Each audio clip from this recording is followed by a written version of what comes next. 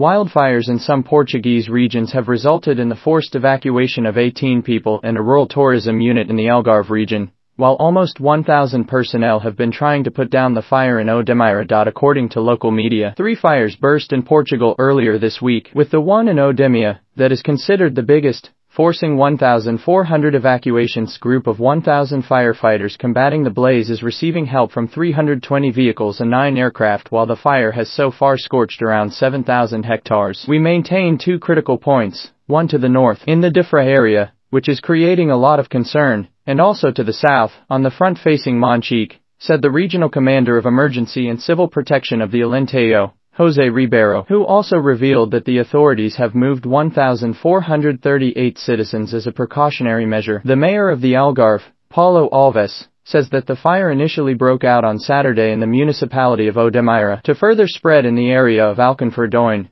by the end of the afternoon and being concluded in the Faro district. The main reason for the wildfires is believed to be the extreme weather conditions, while the national commander of ANEPC, Andre Fernandes, warned that high temperatures would continue in the afternoon. According to Fernandes, the next 24 hours are crucial to monitor whether the wildfire will spread to other regions. The smoke and fires from Portugal are visible from space, while July 2023 have been recorded as the highest month in history. As the World Meteorological Organization reveals, the neighboring country of Spain is also dealing with wildfires this summer, although it is being able to contain them better despite the soaring temperatures scoring the country's third heat wave this summer. Portugal has been one of almost all coastal countries in Europe to have experienced a wildfire this summer, with the most recent, being the wildfire in Greece, causing two casualties as acres of the Rhodes Islands were being burned by climate changes. In addition, Thousands of residents were evacuated, and tourists were sent home. As compensation for their lost days of vacation, the Greek government has enabled tourists to have a one-week free-of-charge vacation,